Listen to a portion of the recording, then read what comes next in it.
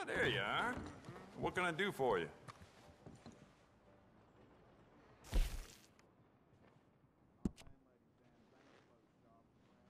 There just ain't no end to fine-tuning your gun, you know?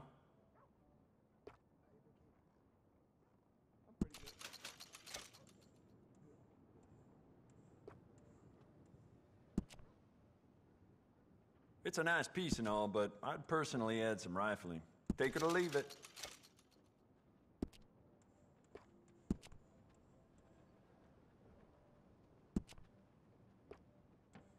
Smart addition.